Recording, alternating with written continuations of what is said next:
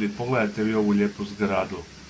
Neko će reći, pogledajte vi ove sve zgrade. Znam da ste vidjeli, vjerojatno, pogledajte.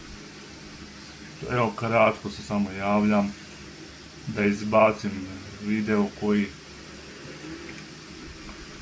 Naravno da vas sve pozdravljam, cijenim, poštujem, volim, vi ste svi moji prijatelji, tako da eto ljudi moji, hoću da ima i GTA igrice isto na kanalu, ne samo ja da pričam, pa eto ovdje sam sad malo uzeo ovaj da isprobam, ajmo reći testiram auto kratko, kako evo vidite vi to.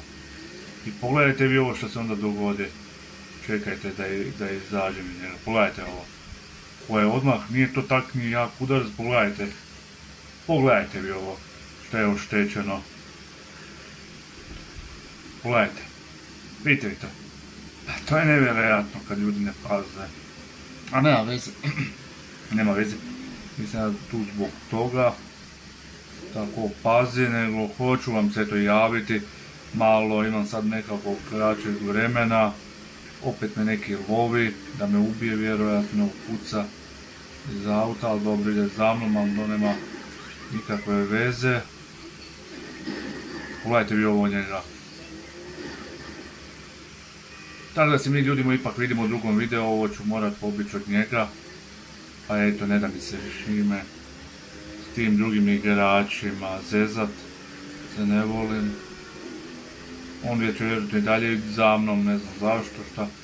Toliko mu ima zanimljivo da ide za mnom. Ali nek ide, šta sad nije ni to problem.